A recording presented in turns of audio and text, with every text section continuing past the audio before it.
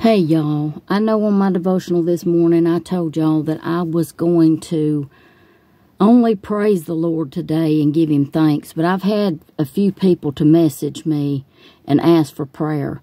So I'm going to just leave this running while I go to the Lord in prayer on behalf of these that have asked me to pray.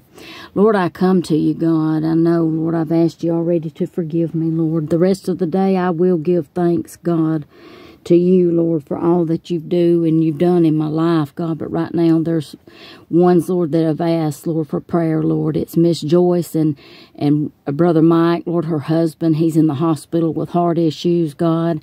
I pray, Lord, that you would be with her, Lord. Will you please give her strength and comfort her, Lord?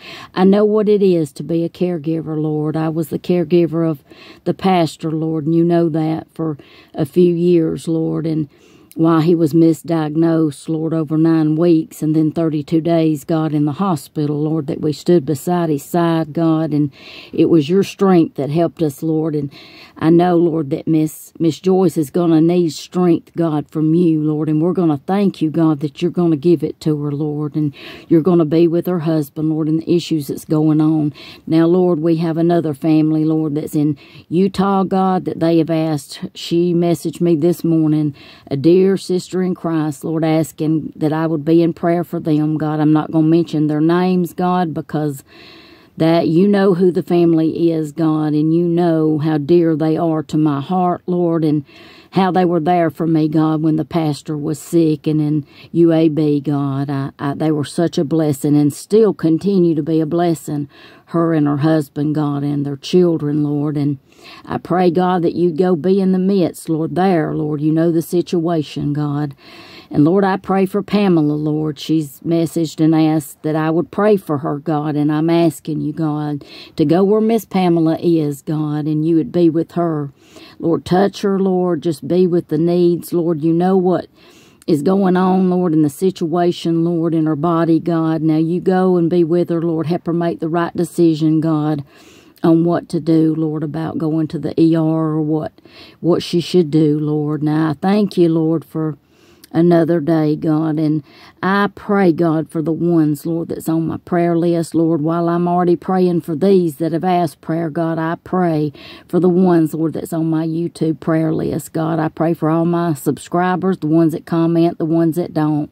God, I pray for the ones, Lord, that reach out to me, Lord, and say they're praying for me, God. They send um, gifts, Lord, that they do not have to send, God. But I'm so thankful for each and every person that does send gifts, the ones that don't, God, the ones that pray for me, Lord. Bless them, God, I pray.